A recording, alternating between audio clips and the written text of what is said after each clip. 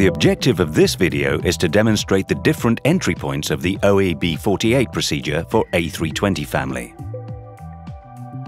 This video was made on a development simulator for A321 at high weight with two angle of attack probes artificially blocked at a fixed value around 5 degrees.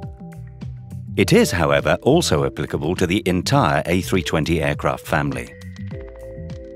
The aircraft is climbing in managed speed, with autopilot, flight directors and autothrust engaged in normal law. Further on, during the climb, a first initial effect of the issue can be noticed. As you can see, the aircraft has difficulty reaching the target speed. This is due to the fact that in open climb or climb mode, the pitch order of the flight guidance may be limited by the value of the blocked angle of attack probes. Therefore, the aircraft is not able to reduce its pitch enough to accelerate to the target speed. However, this effect can also be experienced due to other factors. Therefore, this is not a criterion for applying the OEB 48 procedure. When a turn is initiated, the increase of the load factor causes the alpha prot strip to move. The fact that the alpha prot strip moves is normal and it is based on an increase of the aircraft's angle of attack. However, here with blocked angle of attack probes, the alpha prot strip moves rapidly by more than 30 knots. Such an increase with the autopilot engaged and with the speed brakes retracted is not normal. This display is one of the conditions defined for the application of OEB 48. It is due to the fact that the display of the V-alpha prot is limited below VLS when there is no load factor. When load factor is greater than 1G, the V-alpha prot is no longer limited. In this other sequence, with blocked angle of attack probes and without an increase of the load factor, we can notice that the black and amber strip for alpha prot is completely hidden by the red strip of the alpha max.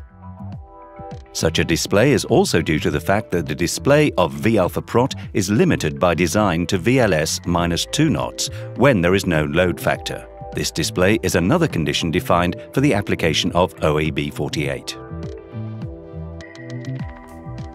When the flight crew encounter one of the two entry conditions of OEB 48, they have to perform the same following actions. Keep one ADR on. Switch off two ADRs consider the use of FPV. Those actions will permit to revert to alternate law and therefore prevent an undue activation of the alpha protection.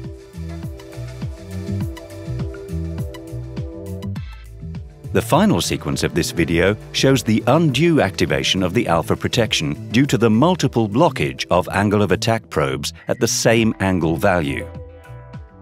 The aircraft is accelerating with autopilot engaged and Mach is increasing in normal law. The reason why there is no abnormal indication on the speed scale is because VLS is quite low and V-alpha prot is limited below VLS when there is no load factor.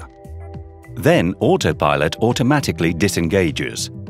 The pitch is going down due to the undue activation of the alpha protection, and the pilot tries to recover the situation. As the aircraft goes to a continuous nose-down pitch rate with a speed above VLS, and the nose-down pitch rate cannot be stopped with backward side stick inputs, the OEB 48 procedure must be immediately applied. Keep one ADR on, switch off two ADRs. Those actions will allow the aircraft to revert to alternate law, stop the alpha protection, and therefore enable the pilot to recover pitch authority.